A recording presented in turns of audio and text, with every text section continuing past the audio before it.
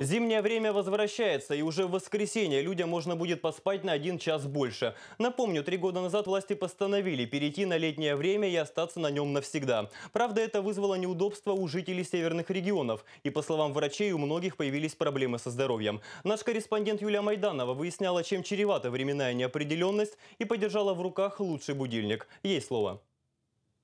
Время назад. В эти выходные россияне начнут жизнь в новом режиме, перейдут на зимнее время.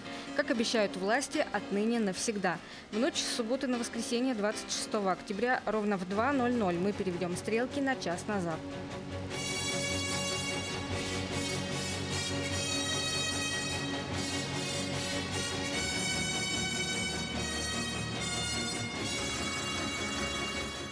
Последний раз выбрать постоянный временной режим законодатели пытались в 2011 году. Тогда вся страна перешла на летнее время, переведя стрелки вперед.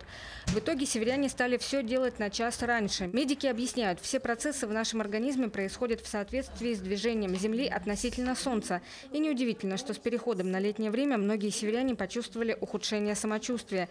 Не могли вовремя проснуться и заснуть, в нужный момент сконцентрироваться на работе и испытывали проблемы с приемом пищи. Вообще нет э, понятия понятие зимнее и летнее время, есть понятие естественное, поясное время и неестественное.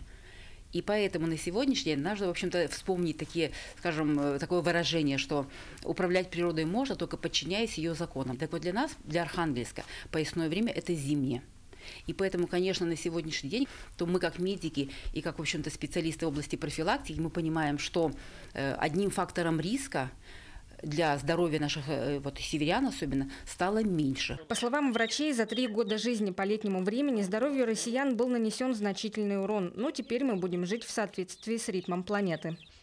Этот будильник не подведет никогда. Петух ориентируется на внутренние биологические часы, которые никакой человек не сможет перевести. Выдал. Петуху Пете все равно, в какую сторону Дума решила передвинуть стрелки. Каждый день он будет хозяев в один и тот же час. И если городские жители бывают теряются во времени, то сельчане всегда точно знают, который час. Пять часов утра вам летом-то хорошо слышно его. Потому что летом они выходят на улицу и по улице гуляют, и в 5 утра уже. В 5 шестом, иногда пораньше, кукарекнет. Не забудьте, в ночь с субботы на воскресенье ровно в два часа перевести стрелки. Грядущие выходные растянутся на час, что не может не радовать. Юлия Майданова, Марина Меньшикова, Михаил Шокур. Новости 24. Архангельск.